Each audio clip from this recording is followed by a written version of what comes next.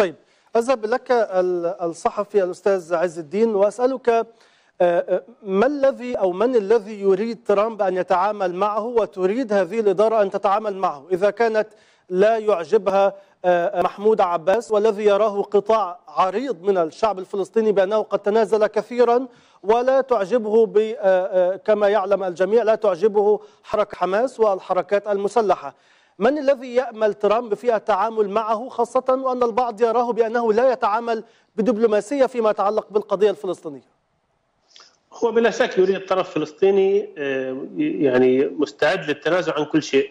هو لا ينظر للقضية الفلسطينية كما أسلفت قبل قليل من من منظور الوسيط النزيه بل من منظور الاحتلال الذي يريد تصفية القضية الفلسطينية بكامل تفاصيلها فبالتالي هو يريد فلسطيني أو يريد مسؤول فلسطيني قادر على تقديم مزيد من التنازلات رغم كل التنازلات التي قدمتها السلطة الفلسطينية على مدار العقود الماضية. هو يريد فلسطيني منزوع الدسم فلسطيني يطيع الأوامر فلسطيني يتخلى عن كل شيء. نعلم جميعا أن الرئيس الفلسطيني الراحل ياسر عرفات رحمه الله دفع ضريبة يعني رفضه ل يعني الضغط الأمريكي فيما يتعلق في القدس.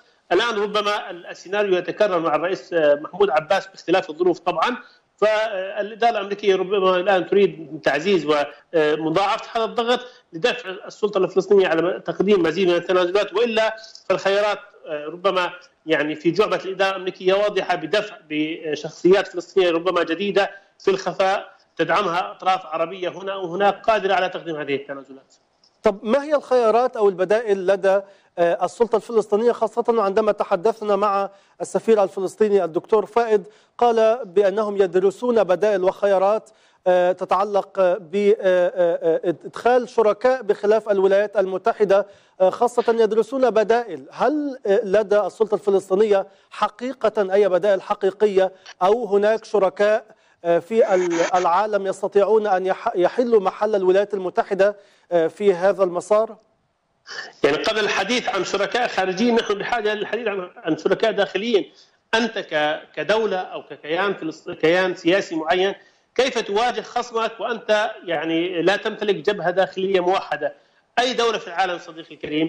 عندما تريد أو عندما تتعرض لهجوم خارجي من طرف معين أول شيء تفعله أن توحد جبهة الداخلية أو أن تمتن جبهة الداخلية، الآن السلطة الفلسطينية للأسف خلال الفترة الماضية أضعفت نفسها وأفقدت نفسها أوراق قوة كثيرة، السيد محمود عباس للأسف بإصراره على الانقسام الفلسطيني وعلى عدم إتمام الوحده الفلسطينية أضعف نفسه وأصبح خالي الوفاض، هو كيف يذهب إلى المؤسسات الدولية بانقسام فلسطيني بداخل فلسطيني مفتت كيف سينظر له الحلفاء أو الأصدقاء في الخارج كممثل للشعب الفلسطيني وهو أصلا عاجز حتى الآن عن إتمام الوحده الفلسطينيه، بالتالي قبل الحديث أو قبل التساؤل عن شركاء في في المجتمع الدولي أو في في في العالم يجب أن نسأل السيد محمود عباس والسلطه الفلسطينيه وحركه فتح ماذا فعلتم في الداخل الفلسطيني؟ هل اتممتم الوحدة الفلسطينية؟ هل أنتم قادرون على قيادة الشعب الفلسطيني بكافة شرائحه وفصائله وانتمائه قبل أن تتوجهون إلى المحافل الدولية؟ برأيي الخطوة التي اقدمت عليها السلطه اليوم بإعلانها أنها ستتوجه إلى